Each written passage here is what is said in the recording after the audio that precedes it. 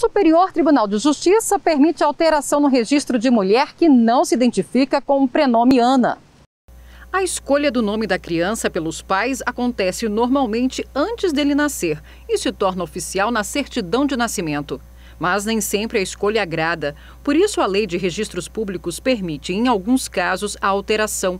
Quando o nome causa constrangimentos à pessoa, o enteado incluir o sobrenome do padrasto ou madrasta e ainda acrescentar o sobrenome do companheiro em união estável, são alguns exemplos de exceções previstas para a alteração do nome.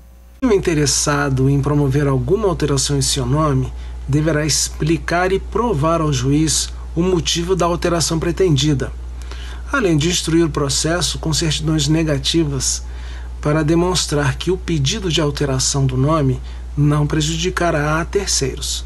No Distrito Federal, uma mulher com nome composto, Ana Luísa, entrou na justiça para retirar o prenome Ana. Ela argumentou que o nome causa aversão e antipatia porque foi registrado pelo pai com quem não tem vínculo.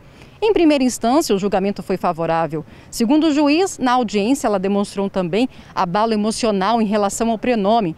Mas o Tribunal de Justiça do Distrito Federal afirmou que o caso não se encaixa nas hipóteses excepcionais da lei, porque o nome Ana é bastante comum e por isso seria incapaz de expor a pessoa ao ridículo. Diante disso, a autora recorreu ao Superior Tribunal de Justiça.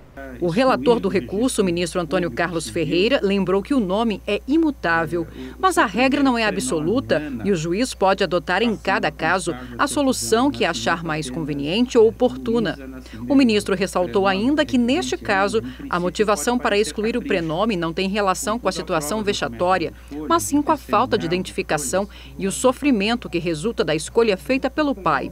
Por não verificar risco à identificação civil, a comprovação de justo motivo e a ausência de má fé, a quarta turma permitiu a alteração do nome da mulher na certidão de nascimento.